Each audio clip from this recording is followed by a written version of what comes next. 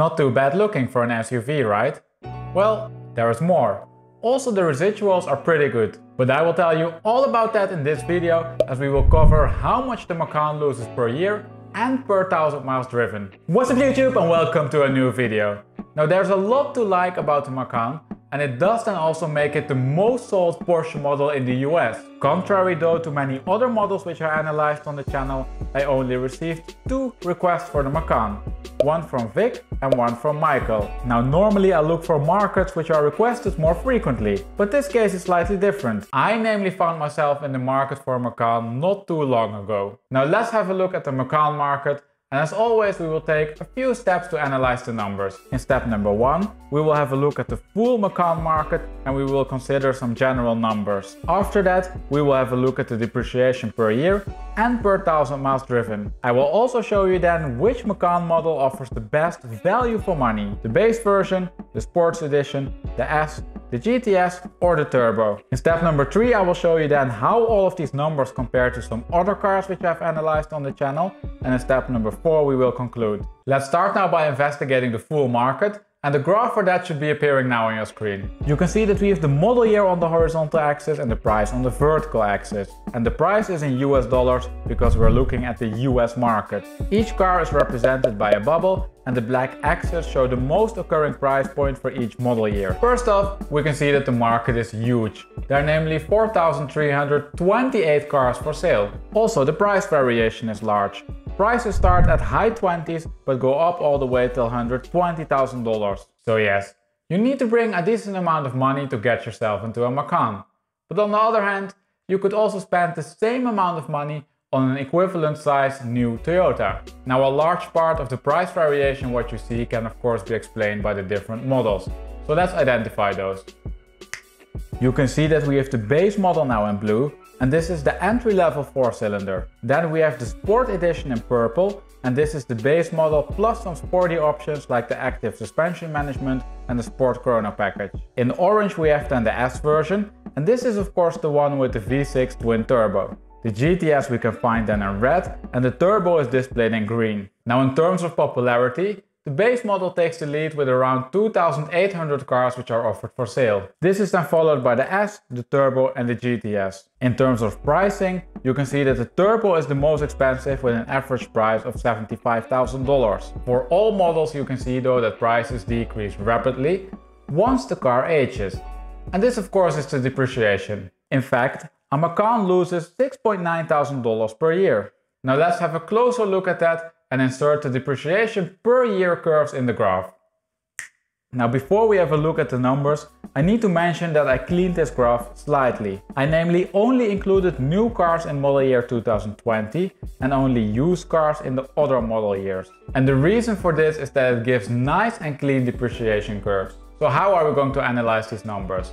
Well, we will first have a look at each individual model type and then after that we have a look at the big picture and compare the depreciation patterns of the different model types. And because there's quite a big overlap between them, I will put each of the model types in a separate graph. First we have the base model in orange and this model loses on average $8,000 per year or 13% of its new price. And please bear in mind that this is an average number and that means that this number goes for all of the different spec levels. Now let's inspect this curve a little bit closer. You can see that prices start at $50,000 but that you can spec it up till around $75,000. So there's a space of $27,000 which you can add just by specing the car. On average though, a new base model is packed up to $62,000. Now if we follow the depreciation curve, then we can see that in the first three years of ownership, the depreciation is hardly flattening. It is almost a straight line. What is also interesting is that the price variation hardly reduced. We saw that these new models can fluctuate with around $27,000 depending on the spec. Now if we look at model year 2017, then we can see that there's still quite a bit of price variation, as there's a variation of $24,000. And this is quite unique. It namely means that only a small portion of the premium what you pay for the spec level evaporates over the years. And I can assure you, there are car markets where this is a lot higher. Now then, let's move on to the S model. But before we do so, please remember to support the channel by smashing that like button. The S model loses on average $8.8 thousand per year or 12% of its new price. Prices for a new S start at $60,000 and they are specced up till $92,000. And as you can see, this means that there's quite a large overlap with the base model. A medium spec base of $60,000 will then also get you into a low spec S. On average though, an S is around $11.5 thousand more expensive than the base version. Now if we follow the depreciation curve, then we can see that it starts to form a bottom. In the first year you can namely expect to lose on average $9.4 thousand.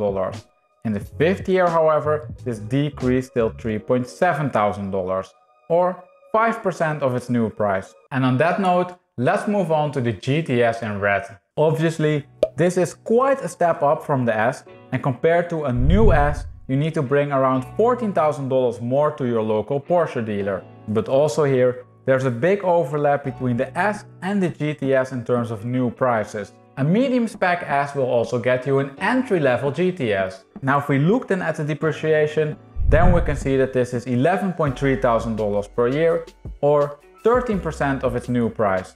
And just as with the base model, we can see a slight curve in the depreciation line, but not yet quite as strong as for the S model. Finally then, let's move on to the daddy, the turbo. So the premium for a new turbo over a new GTS is around $11,000. And you can see from the price levels that the turbo is a big step up from the GTS. There is hardly any price overlap. It are only the high-spec GTSs which enter the price territory of the turbos. Now then, the depreciation numbers. The turbo loses on average $12,000 per year and this equals 12% of its new value. And if we follow the depreciation curve for the turbo, then we can see that there's quite a large price drop between model year 2016 and 17. And this price drop is caused by the introduction of the performance package. This package would cost you around $11,000 and adds 40 extra horsepower, air suspension, the Sport Chrono package and some other goodies which you normally want to have in a top of the line SUV. Now it is of course so that it is more expensive to select each of these options individually than to go for the package. So as you can imagine, this package was quite popular. And with that being said, let's take now one step backwards and have a look at the general market patterns. And to do that we go back to the graph where we had all of the model types together. This makes it easier to compare. First, we can see that the depreciation pattern is more or less the same for all model types. We did then also see that the relative depreciation per year is more or less the same for each model type at a rate of 12% per year. And this has a big consequence. If we look for example at the S model, then we can see that from new the gap to a base model is $11.5 thousand. Now for the GTS this is $14 thousand and for the turbo this is $25 thousand. Now when the car ages these gaps become smaller. In 2017 for example the gap to the base model is only $7.2 thousand and to the GTS $7.7 thousand. So the price gap between the models is reduced by around 40 to 45%. And if we look a bit further, then we can even see that the gap to the turbo is reduced to $8.3 thousand in model year 2015. And the reason for this is of course that the more expensive models lose their value quicker in absolute terms. In relative terms though, there's not such a big difference. Now on the flip side, if you are in the market for a used Macan, you can of course benefit from this tremendously. The top of the line models such as the Turbo and GTS will namely offer better value for money the older they get. By spending that additional $8.3 thousand for a car from model year 2015, you could namely upgrade to a turbo. Spending the same amount on a new S won't even get you into a GTS. There are of course some other points to consider here such as the warranty and the maintenance cost. But even after correcting for those, there's value-wise probably not a better deal out there. Now then, let's stop here for a moment and take a little detour. I namely frequently get asked the question why I don't investigate if cars with a certain color go for a premium. And the answer to this question is in most cases quite simple. For most car markets there are namely not enough cars for sale in an exotic color. And this makes it very difficult to statistically verify that those cars are priced different because of their color. and not because of some other factor like the mileage or the model year. The Macan market is however quite large, so I quickly want to show you the color split. That is appearing now on your screen and you can see that we have now the different model types and that each color is displayed by a different line. And as you can see, there's not really any difference in depreciation. There seems to be going on something for the S's in model year 2014, but the large shaded area indicates that there's a lot of uncertainty in the line due to the small number of observations. Alright, so far we have only considered the depreciation per year, but another important factor for the price is of course the mileage. So let's also have a look at the depreciation per thousand miles driven. And we will cover this a lot quicker than the depreciation per year because the differences are not that large. You can see now that we have the mileage on the horizontal axis and that the price is still displayed on the vertical axis. Now if we look at the different depreciation lines, then you can see that all of the cars lose between 6 and 700 dollars per thousand miles driven. What also goes for all of them is that the largest drop takes place when you drive the car out of the showroom. For a used car, the depreciation is then also a lot lower than these 6 to 700 dollars per thousand miles. Finally then, you can see that after 40,000 miles, the effect of the mileage on the price starts to decrease. The data points in that area namely fall above the depreciation line. So now we know that the Macan loses on average 10 to 12% per year and 6 to 700 dollars per thousand miles driven. But are these numbers high or low? That we can find out by using the depreciation leaderboard.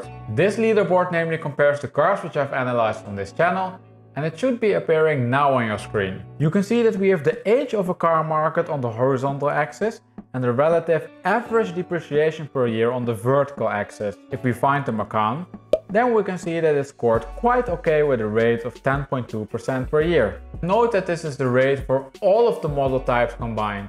Unfortunately, I don't have any other SUVs on the leaderboard, so it's difficult to compare. Now if we compare it to what we have, then we can see that it does much better than for example a BMW M4 or Mercedes-Benz C63 AMG. Those namely have an average rate of 12%. The Macan does however much worse than a California T. This car has a rate of 6.2%. Overall though, I would say that this is not a bad performance for a luxury SUV. It sits slightly on the wrong side of the trend line, but then again, the trend line is based on sport and supercars. I by the way also checked the depreciation per thousand miles leaderboard and there we can see more or less the same result. And on that note, let's wrap up this video and conclude. The Macan's depreciation curve is a bit like the car itself. It does everything what you expect it to do. It does this however in a very Porsche way.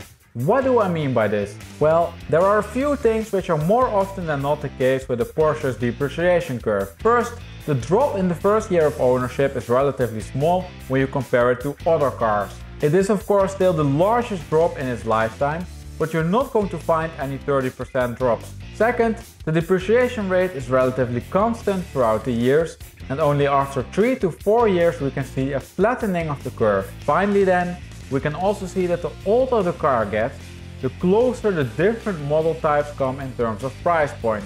In other words, the premium for a different model type fades away over the years. And with those three points we arrive at the end of the video. Now if you like this type of analysis, but you would love to see it for a different car, then I recommend that you check out my channel. There you will find analysis for many other cars, such as the BMW M3 and the Porsche 911. Now if you can't find the car for which you would like to see an analysis, then you can comment it down below in the comment section. Once there are enough requests for a certain car, I will make a video about it. Also remember then to subscribe and hit the notification bell so you get actually notified when your requested analysis goes live. As always, a huge thank you for watching and I hope to see you next week for a new video.